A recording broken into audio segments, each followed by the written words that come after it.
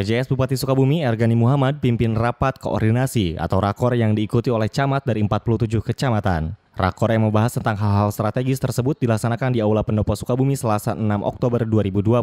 Dalam arahannya, Ergani Muhammad menekankan pencegahan dan pengendalian penyebaran COVID-19 di Kabupaten Sukabumi. Lewat edukasi dan sosialisasi, masyarakat semakin memahami dan semakin disiplin menerapkan protokol kesehatan. Proses sosialisasi bisa dilakukan dengan cara pendekatan masing-masing. Protokol kesehatan pun harus diterapkan dalam penyelenggaraan pilkada sehingga tidak menimbulkan klaster baru dalam perhelatan tersebut. Menurutnya, demokrasi harus tetap terlaksana dengan baik sehingga roda pemerintahan tetap berjalan. Pelaksanaan pilkada di beberapa negara pun telah berhasil, meskipun dilaksanakan di tengah pandemi COVID-19 karena yang terpenting adalah cermat, disiplin, dan penuh kehati-hatian. Ergani Muhammad berharap pilkada di Kabupaten Sukabumi bisa berjalan dengan baik, lancar, dan damai. Dalam kegiatan tersebut hadir PJ Sekda, Ketua Bawaslu Kabupaten Sukabumi, dan sejumlah kepala perangkat daerah terkait. Demikian informasi disampaikan Dinas Komunikasi Informatika dan Persandian Kabupaten Sukabumi dari Pendopo Kabupaten Sukabumi, Jawa Barat, kami TV melaporkan.